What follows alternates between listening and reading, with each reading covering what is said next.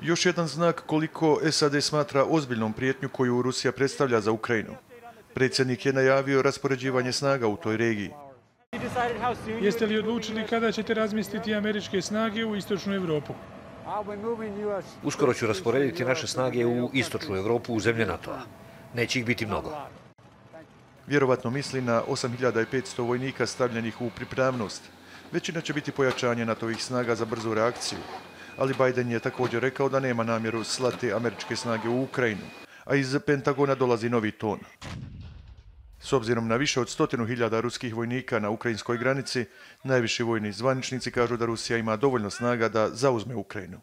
Given the type of forces that are S obzirom na vrstu raspoređenih snaga, kopnenih manevarskih snaga, artiljerije, balističkih raketa, zračnih snaga, ako bi ih sve pokrenuli protiv Ukrajine, to bi bilo krajnje značajno, a napad bi rezultirao velikim brojem žrtava. Možete zamisliti kako bi sve to moglo izgledati u gusto naseljenim područjima, uz ceste i slično. Bilo bi užasno, bilo bi strašno.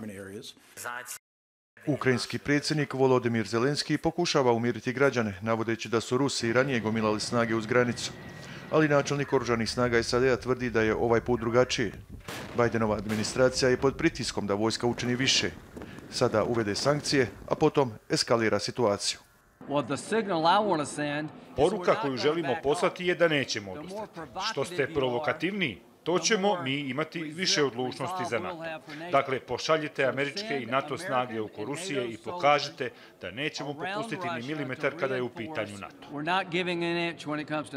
Ali Bijela kuća želi poslati drugu poruku. Diplomatija i dalje može donijeti rješenje. Nema razloga da ova situacija preraste u sukob.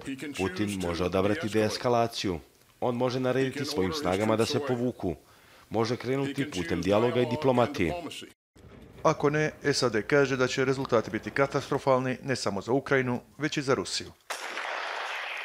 Elvedin Čurovac, Al Jazeera.